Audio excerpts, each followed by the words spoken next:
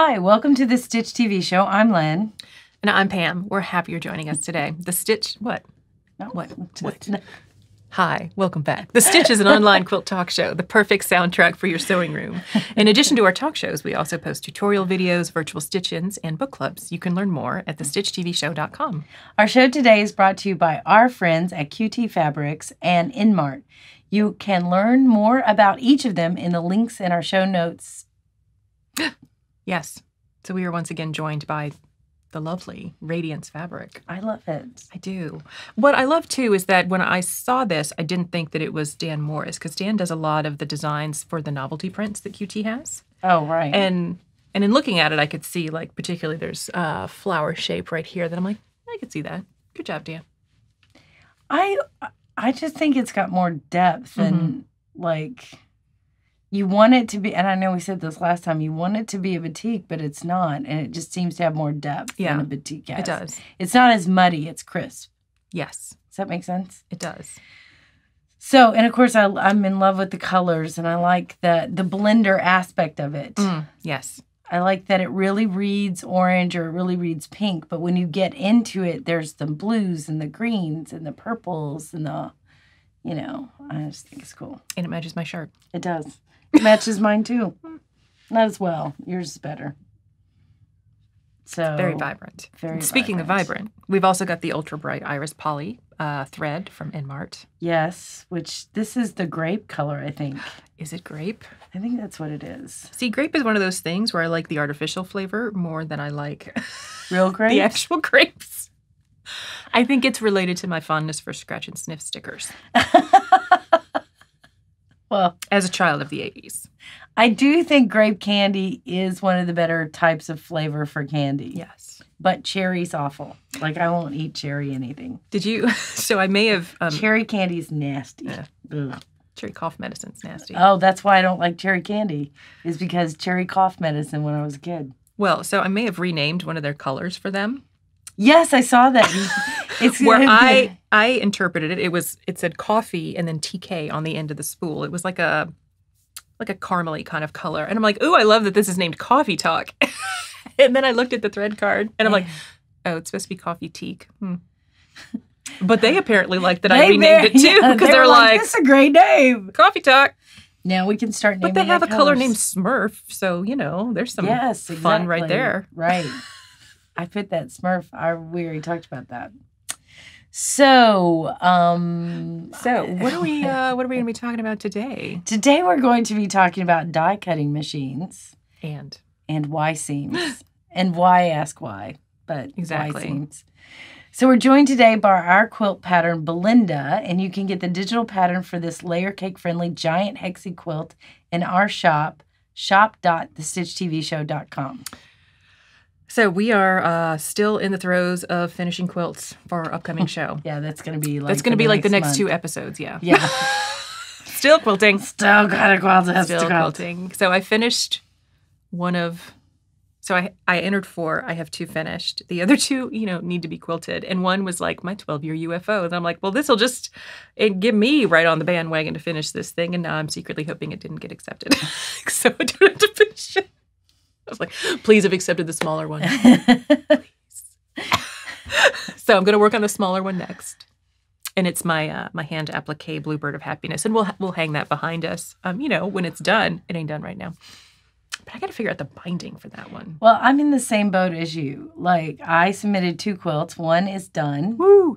but that was our quilt that we did together with a couple of other friends that you all have seen on the show, the transform quilt with the goose on it. Um, I've submitted that quilt, so it's done. And then I submitted a quilt that's not done that I am currently working on too. So I'm with you on the whole gotta get it done. Oh, So still quilting, yeah. Oh God. so die cutting. die cutting. Do you have a die cutter? I have I have a well, Hmm. yes, I have a die cutter. I have an AccuQuilt die cutter, and I have a Cricut cut Mhm.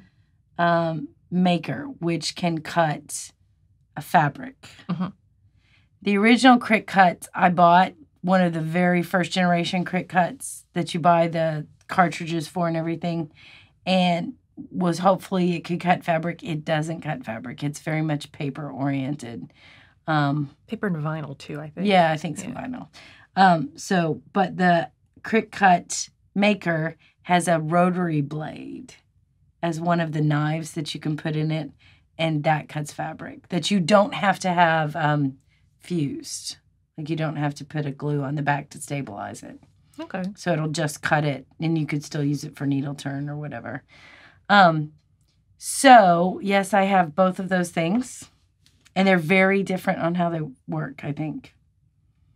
So, do you have a die cutter? Nope. I got a friend with a die cutter.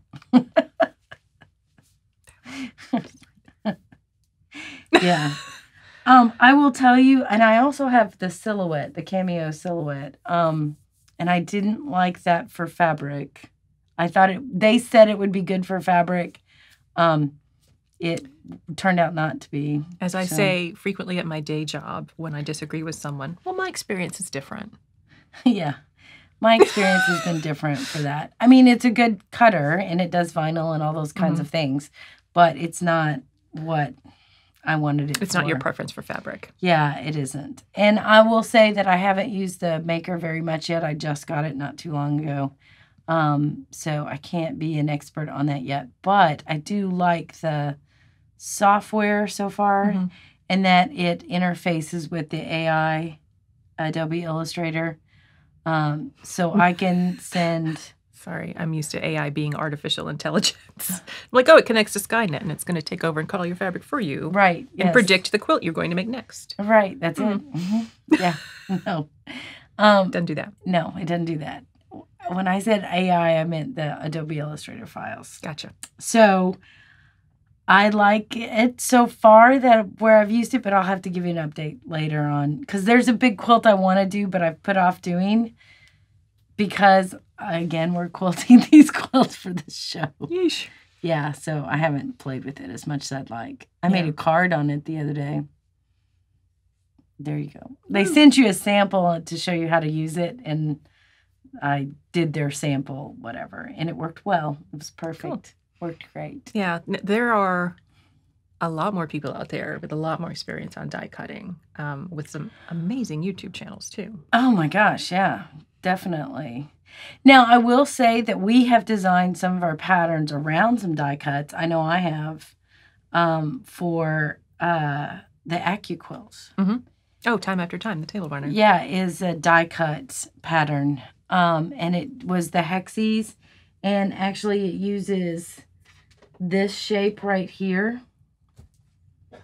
which is an equilateral equilateral triangle. Mhm. So, and you put those in between the hexes, and that was what we used Yeah. for the. Now, that Um, being said, when we wrote the instructions, it was here are options. If you have the die cut, you could use this die, or here's how you cut them out yourself, just regular rotary cutting. Absolutely. Knowing that I don't have a die cut, and I, Right. I mean, I could have come and borrowed it, but I didn't.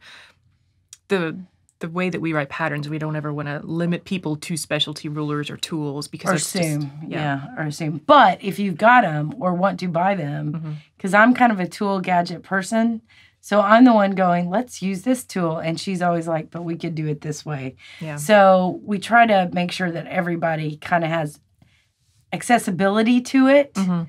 depending on how you how much you want to invest in it. Well, and it's a mix of expense and real estate and how much time are you saving and if you how many times are you going to do that one? right This is my only um, negative for like some of the die cutting is you are limited to that that die. You're investing in that die, and it's only going to cut that shape. yeah it's not flexible It's not flexible. It's not you know side you know. So, well, I need it to be eight and a half and not eight. Mm, sorry, it's eight. Well know? i mean and that's the one of the limits of AccuQuilt when it comes to the Cricut machine it is more flexible because it's software based so you could Right. size it up but you're still limited to the size of the bed that the fabric can fit on for it to cut And I will say that one of the negatives too about die cutting, I feel, is I don't care if it's manual or it's the electronic, like Cricut. Um, there's a waste of fabric. There is. And that's always been one of my big reasons against, where I can be a lot more Mhm. efficient in terms of fabric use when I'm cutting triangle strips for time after time or when I'm cutting, you know, giant hexes for this. Like I can Right. be mindful of how many I can fit in in one piece of fabric. And I don't I don't find that with die cuts and it frustrates me. Now that being said, I have plenty of fabric. Like, you know, I'm a grown up professional lady. I could afford to, you know, waste some fabric, but I want to be conscious of the waste that I'm generating and, and just Right. The opposite side of that Mhm. if you're a person who has any kind of carpal tunnel issues Mm, with cutting, yes. man, die cutters are your best friend yeah. um, because it's going to do all the cutting for you and you're not going to put strain on your wrists and hands. So, as much as I'm like, waste of fabric's a downside, saves my hands. If I have any kind of those issues, stress issues, that's an upside. Mhm. So, you know, I think you can look at it Yeah. both ways. I like die cutters, especially if it's repetitive. Like I need and time saver. You have to admit, die cutters times are time save so much better than if you had to cut out, you know, 500 triangles, half square triangles already cut out. This thing can do it in less than a quarter of the time than it would take you to How many it. layers of fabric at a time do you do? Like On with the- an AccuQuilt. Okay, on the AccuQuilt, I think they say up to 6 I Mhm. could be wrong. And that's about my limit for rotary cutting too. Yeah. Because when you get more than that, things just start slipping. and- See, my my for rotary cutting's four Mm-hmm. because I do think they slip after four. Um, if I'm cutting squares, I'll do up to six. If I'm doing triangles, I limit it at four. yeah. So I- think that's a benefit of die cutting too because you can do multiples really quickly um, and be ready to sew. So a lot of people don't like cutting, and this will let you cut and and it lets you repeat. You know, and if you're the kind of person who loves to do the same pattern over and over and over again, then maybe die cutting's the way to go for you too. Not necessarily, and I'm talking. There's another um, company out there, and it's called Gemini and Mhm. Sizzix, which we haven't brought up, but they are on the same type of cutters as the AccuQuilt is. So Gemini and Sizzix are all manual cutters. Mhm. Um, now, some of them have buttons you can press and it goes through Yeah, versus having to crank or something. versus having to crank it. Yeah. So, but those are all die cutters that you would buy a die and then that's the size and you would send it through. The Gemini was kind of cool. You and I Mm. saw that at market. Yes. Yeah, their dies weren't sort of big We don't have them. bed. I don't no, we don't. have one. But their um their dies are more they just look like thin metal outlines of the shape that you're cutting. Right. And they're very lightweight, which I was attracted to just in terms of it looked like it took less storage space Yeah. than having individually like all these big dies that you have to run through the AccuQuilt. Yeah. And these, just so you know what's in these dyes, if you don't have one of these, these, this gr- dark gray shape, if I press that away, and I have to be careful, there's a blade. Mm-hmm. So, and the blade, this is pretty thick.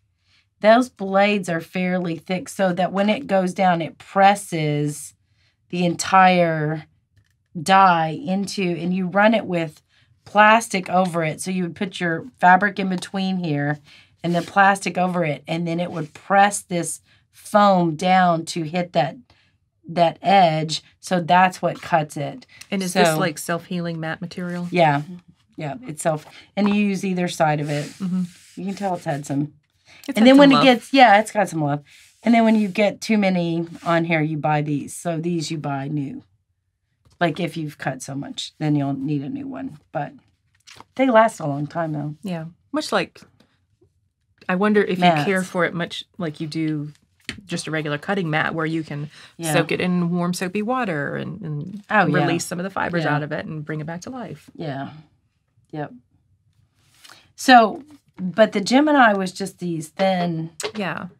Man, I didn't know how. And I was like, I don't even know if that's going to work. Is oh, this and magic? it totally did. it was not magic. It worked. It totally I mean, maybe it was magic, but it worked. And the other one is Sizzix. They have a, a die cutter, and it's the same principle as the Acu cut or quilt, AccuQuilt. Um, it's got a thick die like this, and you.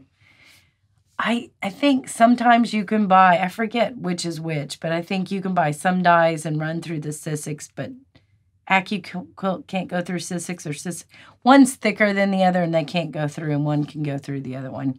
You just have to buy a base that Mhm. helps it. Um, but they're not they're not supposed to be interchangeable. But I think there's a way around where There's some of them can't. Yeah, there's a hack where you can't Refer to your manufacturer's instructions. Right. Now that's for manual ones. For the for the for the Computerized. computerized ones, which are your um, silhouette brother silhouette cameo and um, the the make Cricut maker. Um, those you're still buying dies or you're still buying files, but it's just electronic files that you send to it. That being said, you can create your own and send a is it an AI or an SVG file? it's SVG file. It just took me a second. yeah. So there is free file. software that you can use to design those, and that's actually something I had used until we upgraded to the Adobe Creative Suite. But there's a for PCs, there's software called Inks Inkspace or Inkscape. Uh, now I'm drawing a blank. Inkscape, uh, which is free software, and it's it's not the most intuitive thing. Like if you're used to, let me just go draw something in Microsoft Paint. Yeah. Not at all like that. No. But it's not an insurmountable Right. th- there's lots of good tutorials out there on how to use Inkscape, uh, and that is a free graphics program that you can use to design shapes that you could then send to uh, be die cut on any of those machines. Right. So that makes it more flexible. That being said, it can only cut one Hmm. layer of fabric at a time. So the manual ones are very much better for I'm doing, you know, 30 blocks and it can cut all of the fabric much faster than a Yeah, you know, I look at the the Cricut Maker and the Brother Silhouette Cameo as very much a more specific. I bought it to do art quilts, Mhm. so I'm wanting to do a whole different technique with it, where it's going to cut out some really interesting shapes, not like standard half square. here's a square. Yeah. For that, I would use the AccuQuilt Yeah. that I have. Um, so, and we have honestly, you know, looked at some of the dies and gone, okay, how can this fit into so that we could make recommend. It doesn't, it doesn't guide our design aesthetic, but it's a consideration of can another tool be used to create this quilt? Mhm. You know, I've always thought of it that way. I don't know if you have. Yeah, I think Yeah. having more options than less is beneficial, particularly Right. you know when you're selling quilt patterns, because everyone has their preferred tools, and you know you don't want to have to force someone to buy a specialty ruler. I mean, unless for our case, because we don't design a lot of rulers. Um, Right. But I could definitely see, you know, when you look at um, specialty like creative grids, and they've got patterns that are developed to go with all of their specialty rulers, Right. uh, and that works for them. But that's not where we're coming from as as quilt designers. Right. Right. So I I think they're great uses for die cutting and um you know, if you're doing multiples of the same thing, the those types of manual die cutters are great. Mhm. They're absolutely great. But if you're looking for more stuff, specialty, small, intricate, you know, one layer, then I did think it was funny. So we went to the Cricut Maker conference or something in Atlanta. I drug her to it. She was not impressed. Well, it was It wasn't it's our not my particular jam. yeah. I could see the appeal of it, but I did leave and want to go make like a lot of custom T-shirts, but I didn't. So So they had this one. So you went through two different classes.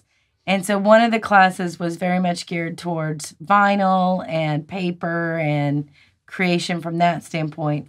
And then the other class was geared towards sewing, and they were really showing how the Cricut Maker could cut fabric. And so they gave us all, I didn't think this is, so they gave us all this fabric, and we were to put it on the maker and have it cut out the fabric. It cut out a like inch and a half strip. like, it was not showcasing the full capability of the machine because it was like six by inch and a half fabric, and I'm like, really? I would never do this. We're making this. little keychain fobs, so I I get the they, I get this. they they needed a project that people could finish right. in in the class The amount of time. yeah, we were like, I would never. it has so that. much more potential. like you did not impress me with the potential of this machine by having me cut out an inch and a half inch strip. And that being said, we totally use that key fob now. It's on the spare key for my car. Mine has been using it all the time. So good job. um,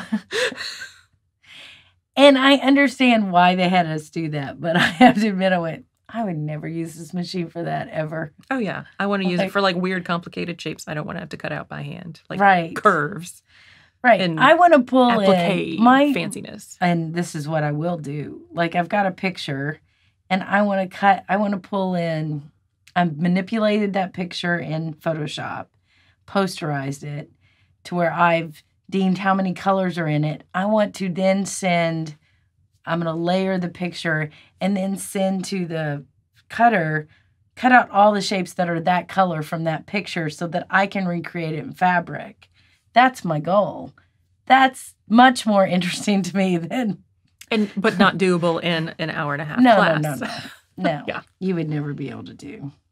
Yeah, because I think you guys have seen some of the, like, um, like I'll take pictures and I'll manipulate them in Photoshop and make portraits and stuff like that, and so, but not impressed with how they showed us to use it. But that being said, I did end up a year later buying one.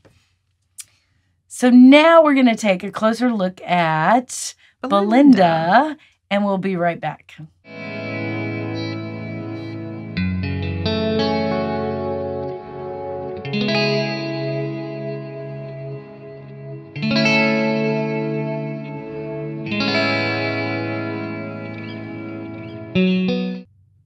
Okay, we're back, and now we are going to talk about why Y seams. or partial seams. Oh, that's right. I oh. find there to be a lot of mm. trepidation about both of these things. I think so. And I also admit to having a fair amount of fear until I just did it. And then you realize, like, oh, in both of these cases, you're still sewing a quarter inch seam. You just stop before you get to the end of the fabric. Right. And it's literally that simple. Yeah, it is. Well, yeah, it is. It is. It is. So Y seams are when instead of uh, an intersection where you just have two seams coming together or four pieces and there's like an exact corner grid, uh, where there are three pieces coming together. Like what's behind us. Here would be an example. Ta-da. Ta-da. And for beginners that want to dive into this, and really I do recommend beginners just dive in and not read a whole lot about it because then you'll there's just a lot of FUD, as we say, fear, uncertainty, and doubt. I didn't know that's what we said. Okay. Well, no, we don't say that. That is a that is common in my day job Okay. in cybersecurity. like- There's a lot of FUD out there. Fud. Fear, uncertainty, and doubt. Like, don't I Google like it. Just dive in and start doing it. Right. And for beginners, I recommend, and even people that are maybe been away from it a while, um, mark. Just mark your little corner because when you're sewing a Y seam, you're sewing a quarter inch from the edge to a quarter inch from the edge. So you leave your seam allowance free. It's not stitched down, and it'll become apparent in just a minute uh, why that needs to be. And there are a lot of templates that are out there, and we've got one under the camera now. Uh, this particularly is called the Sew Easy template, and this came with a number of sizes.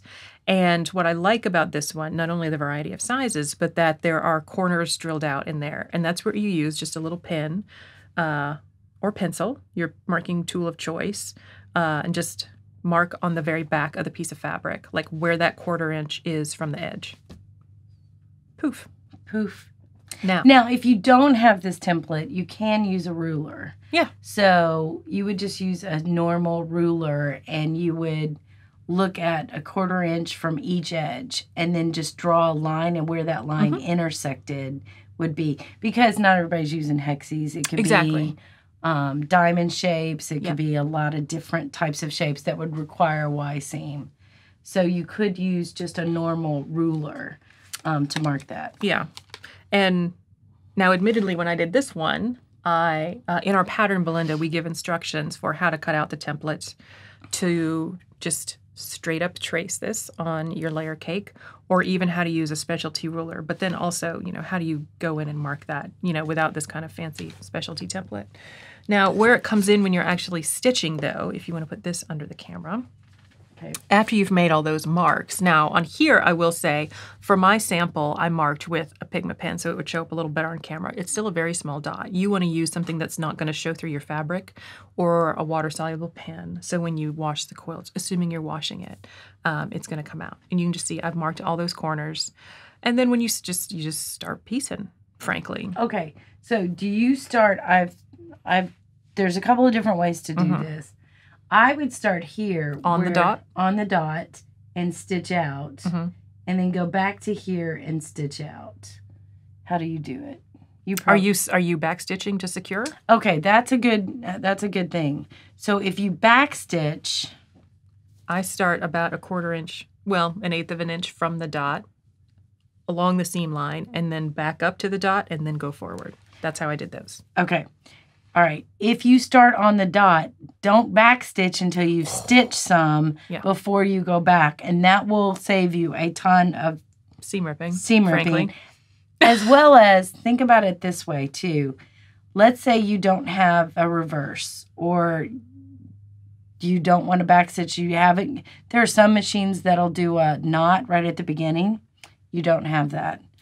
Um, put drop your needle right on the dot. Stitch two stitches. Pull your needle up. Pull the fabric Scooch back to the dot. scooch back to the dot and start stitching there again. And that's essentially like a back stitch. Mhm. So that's another way that you can do it. Yeah. So, but you do need to secure your stitches at the beginning of the seam, or else they're just going to like. Yep, exactly. Fritter apart. This is one of the key places. I don't always secure my stitches on a Y seam. You do, Yeah, absolutely. right? And so when you start stitching things together to make a Y seam, you've got three pieces. You start stitching two together. Right. You put them right sides together, just like any other time. And then you would stitch. Yep. And then you stitch along that and then you flip it open now you have two hexes with like some flappy seam allowance it's not that flappy it's only a quarter inch and then you add your third piece of fabric so now you've got two of the three stitched the same way now when you are adding that third piece of fabric are you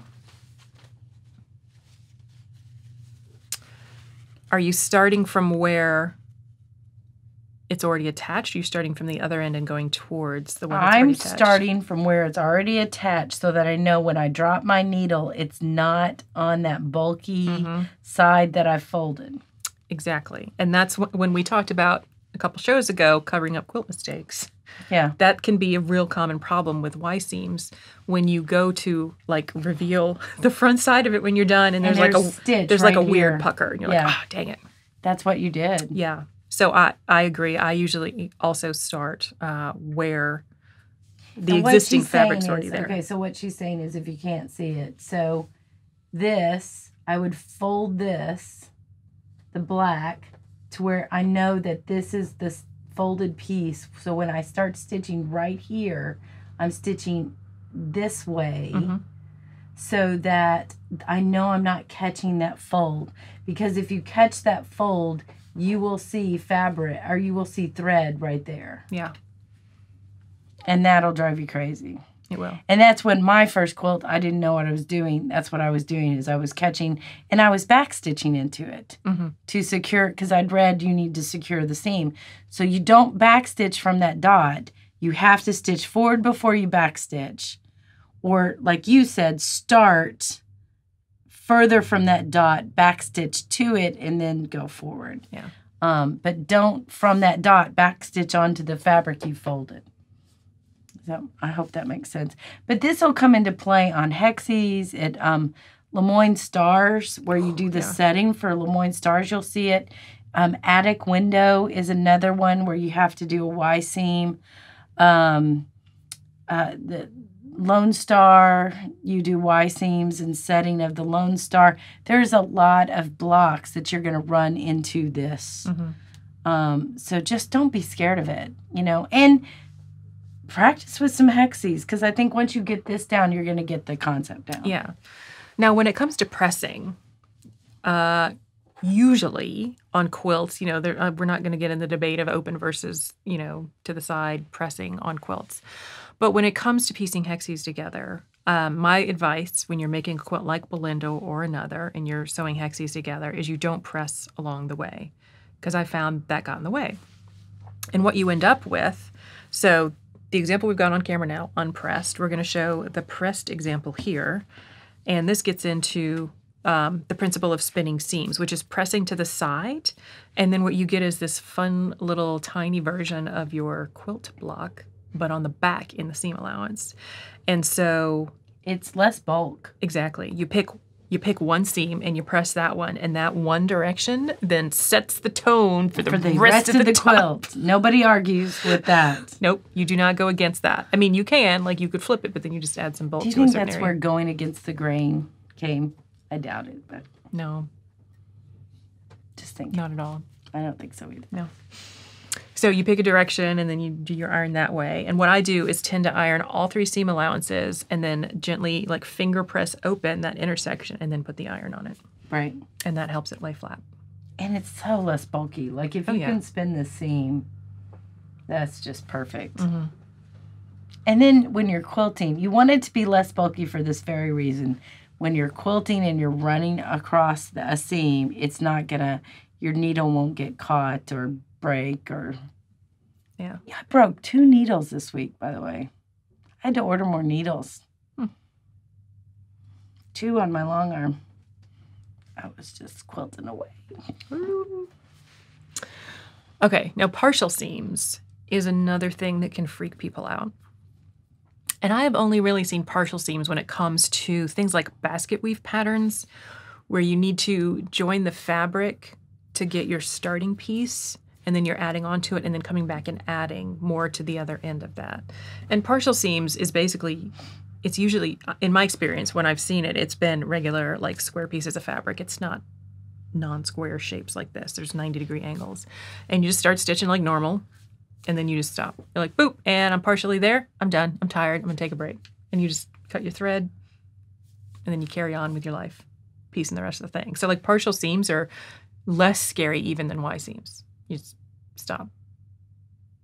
I'm trying to remember the block that I use partial seams in.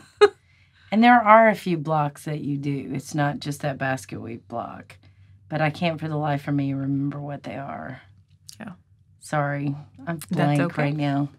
So, but yeah, partial seams aren't. You the thing with partial seams is you just stop before It's usually about an inch or two before you need to get to that next joining piece. right. And the thing is that joining piece has to come in before you can finish the seam. And exactly. That's it. Yeah. Yeah. And that's why. And it's usually a straight seam too, so it's not a big deal. It is less scary than I always seams. backstitch just so that I know I've locked that down before I stop. Hmm, that's a choice. I don't. Well, no, because I don't on partial seams, and I mean I could. There's yeah, there's not a no for against it, but when I come back, I am not starting right where the, that is. right at the end. You're I'm starting, starting, a little bit before. which is essentially back stitching, just with Yeah. a new line of stitching. So yeah, I mean, either is is an acceptable choice as long as you're not just adding so many knots in that one area that now you have a weird bulky spot and you I tell. think the reason I backstitch is because I don't know when I'm going to pull that next piece in. If I'm doing a bunch at a time, you know, I'm changing don't want it to piecing or just- whatever. Yeah, so I'm just locking it so it can be set aside before the next piece is ready to put in. I will look up the block that I used that on because there was a it was a more common block. Yeah, I've done it gone. like I said in basket weave. Then there was one Right. block of the month program I did. That, was, like it. It was very- from a block of the month Yeah. program, and it was a star, some kind of star. Yeah, it was like a weirdly specific. And I was like, eh, there's a better way for this. Yeah, But usually you're doing that in a in a point where like yes, you could join the same piece of fabric to uh, another piece of that same fabric. we use partial seams in the diamonds are forever Mm. um, layout. So we go over how to do partial seams in that pattern, um, and it was a way to offset the the two the two um, The the pieces quadrants. together. Yeah, the quadrants together. Yeah. So it was had to be done that way. So Very cool. Yeah. So it, it's it's not scary. And No. it does open up your options in terms of block construction. Now there are ways to make a Lone Star quilts or Lemoyne stars without a Y seam. Absolutely. And they're perfectly fine. And Yes. if it, if you're still terrified, by all means use one of those alternate methods. I just think that if you get in your, you know, if you can market, um, also, um, either with these templates or you can do it with a ruler. You can always do it with a ruler. So how you would do it is whatever edge of your shape that you're using, you would just take a, a marker, you know, some water soluble pen or something like that, and mark a quarter inch on one edge turn the ruler around and mark a quarter of inch on the other side and that intersection is your dot Yep. essentially um, so that can be do, done on any shape. Yep. and that's how you find it. Once you find the dot it's just dot to dot. Now for hand piecing um, y seams what i do and this is Mickey Depre's method is i sew through the dot to the like if i were if I were hand stitching this, I this is going to have a dot and this is going to have a dot and the pink's going to have a dot. So I would take my needle through the green and the black on the dot and then my needle's here so I would go back through the dot for the green and the pink. Needles here, go back through the dot on the pink and the black back to the original where I started and then I would start stitching my line so that I've I have really secured that corner and that's how you do all the intersections on hand piecing. Mhm. So you can do it machine or hand, but you still need the dots for either one. Yep. So very cool. Anything else? Nothing from me. All right. So Lynn, why do you think the chicken crossed the road? Probably to avoid Y seams in its quilts. Would you risk traffic to avoid a partial seam? You can leave a comment on our blog or in the YouTube episode or in our Facebook group, What's Up Stitches. And that's all we have for this episode. So today's show has been made possible by EnMart and QT Fabrics. You can find links to these wonderful companies in the show notes for today's episode. We'd like to thank 77 Peaches and Big Think Productions for helping produce The Stitch. If you've enjoyed the show, please like, share, and subscribe. And don't forget to hit the bell to turn on notifications on YouTube. So our next virtual stitch-in is Friday, May 10th at 7 p.m. U.S. Eastern, broadcast live on our YouTube channel. Our next book club episode is May 24th. All those details and more can be found on our website, thestitchtvshow.com, along with links to purchase fan gear, quilt patterns, and video classes. Tune in next time for more quilting chat with friends.